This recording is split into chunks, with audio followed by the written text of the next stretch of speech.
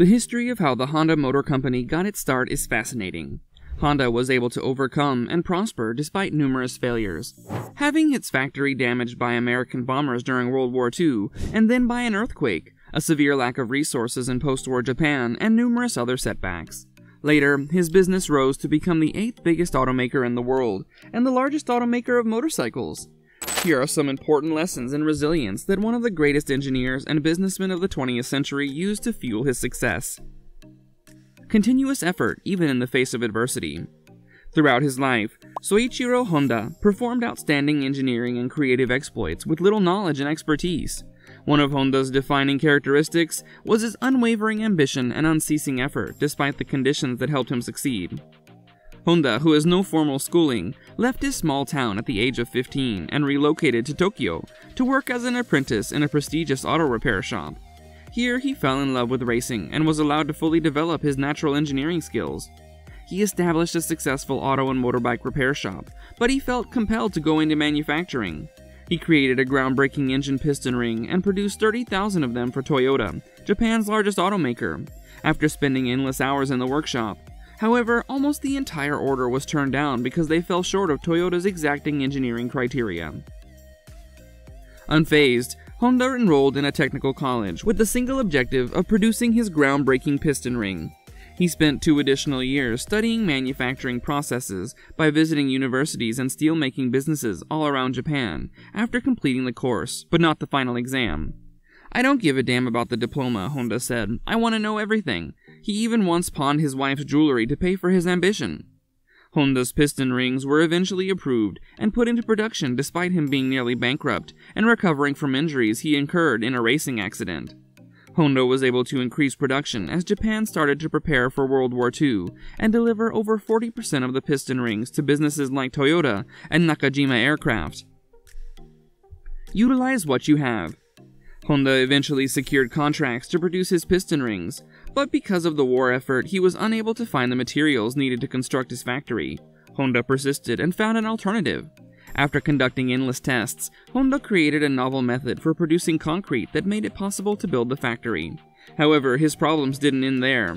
During the war, his plant was hit twice and was essentially destroyed. His plant needed steel to rebuild, but none was available because every trash was turned into armaments. Honda turned to the heavens to discover the steel he needed to rebuild.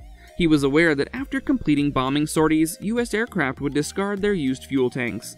The tanks would drop from the planes as Honda and his employees watched from the ground, and then they would gather the tanks and utilize the steel to restore their factory. Little gifts from President Truman, he referred to them as.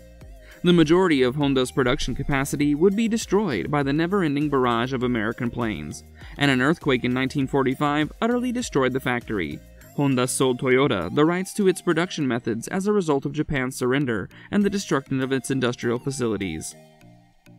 Attitude is essential. Honda is frequently noted for his extraordinary fortitude and upbeat outlook despite the circumstances. He deserves a lot of credit for this because of his unbridled desire to create and advance new things. He aspired to invent rather than just copy or imitate. After the war and the sale of his business, Honda used some of his winnings to purchase alcohol and then spent an entire year intoxicated, giving people his homemade whiskey.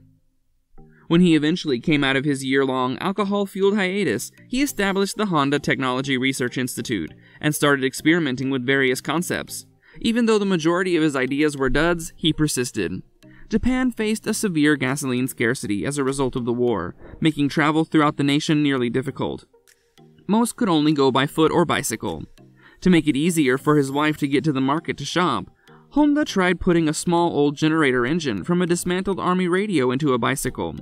His pals immediately asked if they could purchase one when he modified the engine and built a mounting mechanism and started testing his new powered bicycle around the town.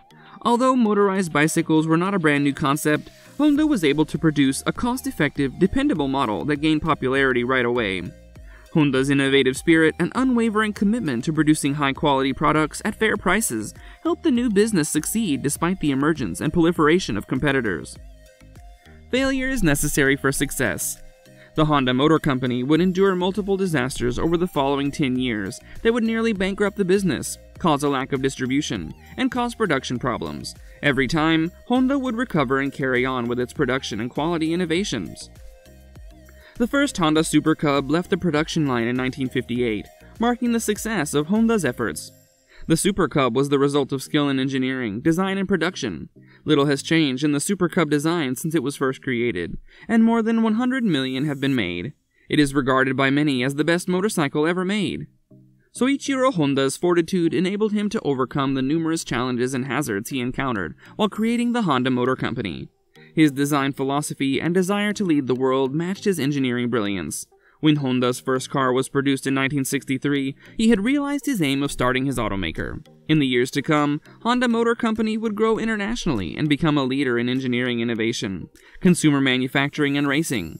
The tremendous legacy Soichiro left behind continues to have a lasting impact on the world, and Honda Motors is still a leader in the automotive industry.